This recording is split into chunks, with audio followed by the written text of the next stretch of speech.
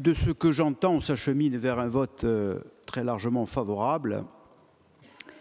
Et euh, au-delà des modifications ou des questionnements techniques, il apparaît que les grands principes euh, politiques, quant à l'avenir de la gestion des ports et aéroports, quant à leur maintien dans le juron public au service de l'intérêt général de la Corse, semblent se confirmer. Encore faut-il attendre le vote ce qui veut dire que l'Assemblée de Corse s'achemine vers une confirmation d'un choix à la fois déterminé, innovant par rapport euh, à ce qui se passe sur, les autres territoires en France, voire en Europe, et nécessaire du point de vue des appétits qui existent. Et les appétits sont très importants lorsque l'on connaît euh, leur, leur, façon de regarder de temps en temps les sujets des ports et aéroports partout, y compris en Corse et leur attitude lobbyiste est omniprésente, même si leur attitude peut être souterraine. Et face à l'ensemble de ces données, euh, je suis là dans la, lignée d'autres propos, et notamment ceux de Hyacinthe, pour euh, confirmer que notre groupe considère, considère Monsieur le Président, qu'avec l'ensemble des acteurs, notamment euh, les élus de la Chambre de commerce, les personnels, vous avez, fait le, vous avez suivi à la fois euh, une continuité, vous n'avez jamais failli sur cette continuité, et euh, vous avez une éthique de responsabilité. Parce que je voudrais quand même rappeler que l'amendement dans la loi Pacte de 2019, il n'est pas venu non plus comme ça euh, par la simple volonté du gouvernement. La détermination et la volonté, elle a été préalable à 2019 dans les demandes du Conseil exécutif avec la Chambre de commerce d'éviter les coups de rabot prévus par la loi pour les chambres de commerce par ailleurs en France et de faire en sorte que l'on donne une perspective aux chambres de commerce en général dans l'éventualité d'une évolution statutaire de la Corse pour rassurer les personnels, rassurer le modèle économique des chambres de la collectivité. Et donc nous avons obtenu collectivement, par négociation avec Bruno Le Maire, par vous-même d'abord, relié par les parlementaires que nous étions aussi, le fameux amendement de la loi Pacte. Donc on ne s'est pas réveillé en 2021, en 2022. Ça a commencé bien avant 2019 et cet amendement est le produit de cette négociation et le produit de cette volonté qui permet d'avoir le rail du chemin de fer qui va nous amener, qui va nous amener, on l'espère, au véhicule législatif qui va poursuivre sur la lignée de l'amendement de la loi Pacte au euh, processus juridique de rattachement et avant ce processus juridique de rattachement par voie législative, il y a effectivement le sujet qui nous occupe aujourd'hui de la concession. Alors on, entend ici ou là que vous procrastinez, et puis on entend des déclarations d'amour. Bon, je paraphraserai les uns les autres pour dire que rien ne vaut mieux que les preuves d'amour plutôt que les déclarations. Et euh, c'est ce que vous avez fait le jour de l'Assemblée générale, Monsieur le Président. D'abord, vous n'avez pas fait seul. Parce que lorsqu'on vous attaque sur la déclaration de guerre ou sur le fait d'avoir été offusqué légitimement pour nous de ce qui s'est passé ce jour-là, vous n'étiez pas seul, puisque les élus de la Chambre de commerce étaient offusqués autant que vous, ont réalisé une conférence de presse à vos côtés, ont adopté à l'unanimité, malgré les propos du SGAC, en Assemblée générale, le contenu,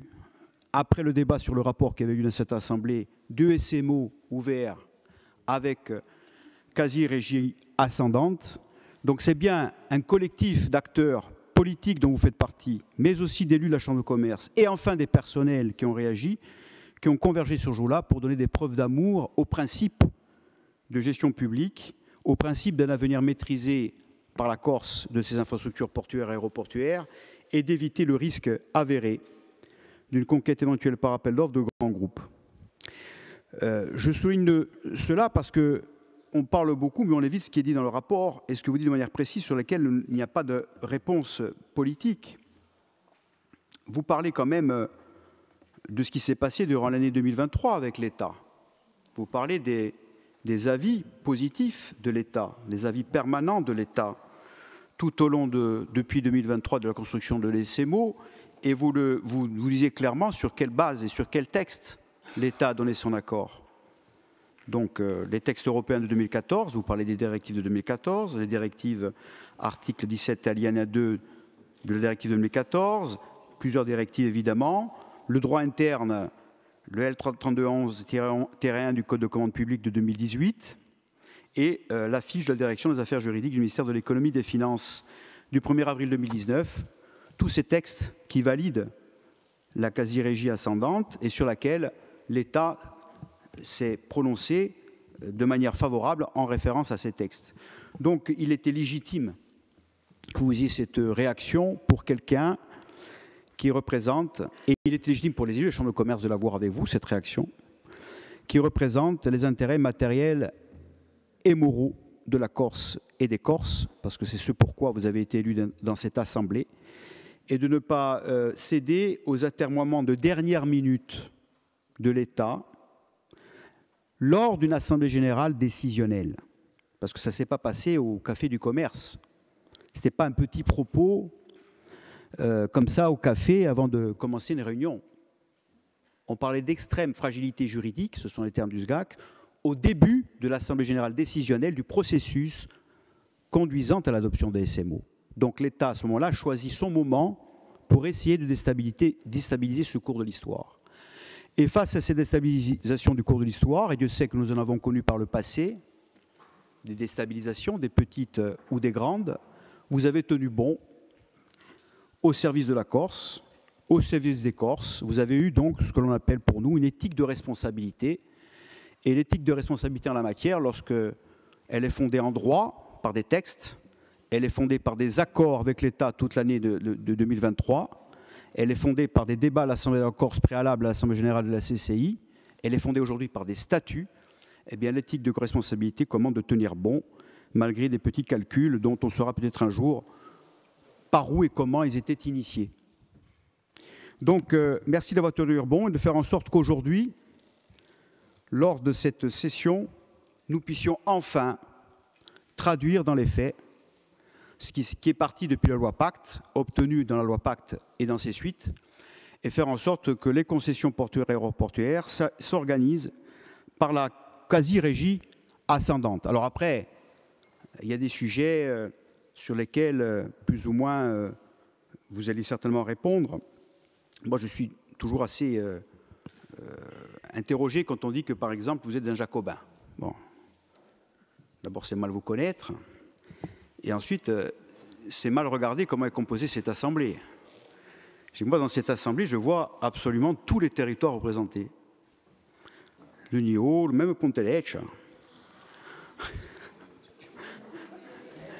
Tous les territoires sont représentés pour décider donc, euh,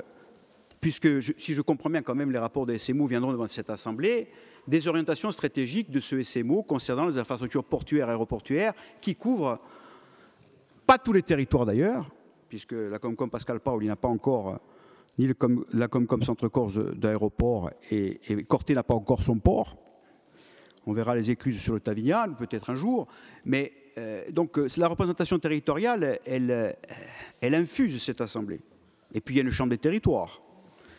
vous avez, dont vous avez constitué un bureau et, qui va être amené à être renforcé, où tous les territoires sont représentés pour avis. Et puis, il y a un comité de massif qui est un parlement de la montagne. Et puis, il y a notre volonté dans l'évolution statutaire de faire en sorte qu'il y ait un renforcement de ces outils où ce sont les territoires qui sont représentés par le bicamérisme. Donc, à partir de là, je ne, sur la question des grandes infrastructures stratégiques au service des territoires directs, mais surtout de la Corse, parce qu'il m'arrive euh, en tant que Niolin de prendre aussi euh, mon avion à Ajaccio, des fois à Figueres, un peu à Calvi. Je pense que je pense euh, est dans le bon fil de ce que l'on doit faire à travers cette proposition statutaire. Pour le reste, j'espère,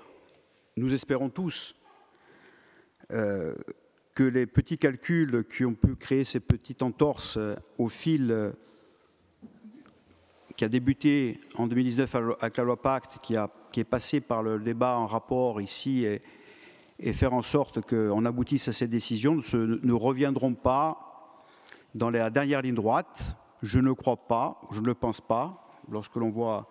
les propos de la ministre ce matin, parce qu'il ne faudrait pas que ces petits calculs déstabilisent un ensemble qui a créé les conditions, qui, en tout cas, a eu l'assentiment de forces politiques, civiles, économiques et sociales de divers horizons.